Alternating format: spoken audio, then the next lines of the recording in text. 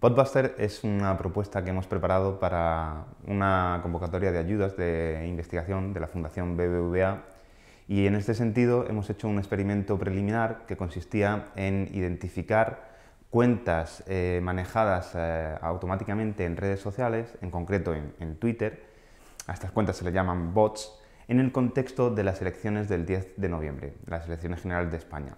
Nuestra idea era identificar este tipo de cuentas y cómo influían en la, opinión general para manipular a la gente, etc.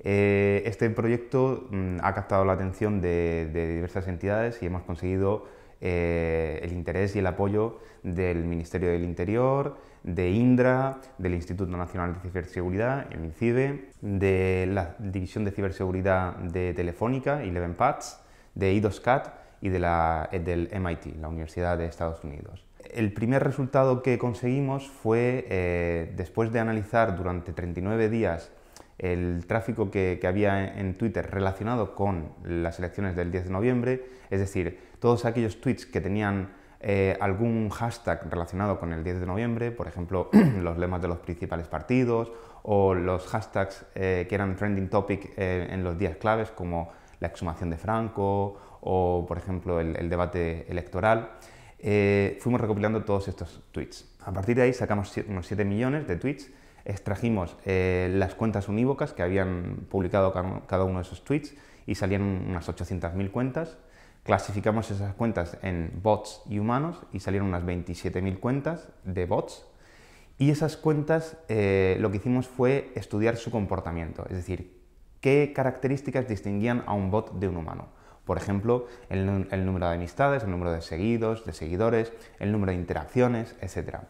Lo siguiente que hicimos fue comprobar eh, la presencia cronológica de estos bots y clasificarla por partidos. Y lo que pudimos observar con esa, investigación fue que los bots principalmente fueron creciendo, fueron aumentando conforme eh, pasaban los días y conforme se acercaban las elecciones, el día de las elecciones, y eh, al hacer la clasificación por partidos, vimos como estos bots principalmente se iban hacia los partidos más extremos, ¿vale? Hacia, principalmente hacia Unidas Podemos y hacia Vox.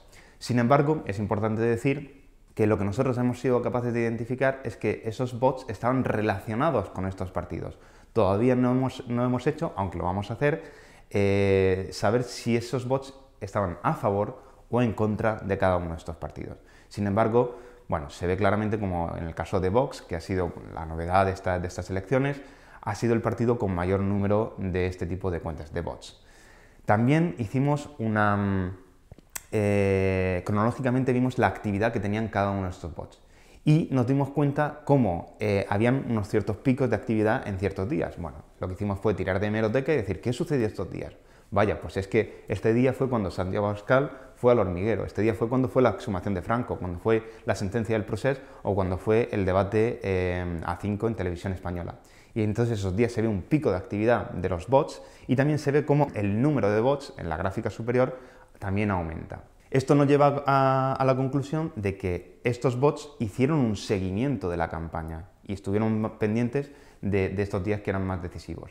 El tercer y último experimento que hicimos fue coger todos estos bots y agruparlos en función de, sus relaciones de amistad. Es decir, todos aquellos que estaban más unidos, que se seguían mutuamente entre ellos, mm, agruparlos en lo que llamamos unos clusters. Y de esta forma nos salieron seis grupos o seis clusters.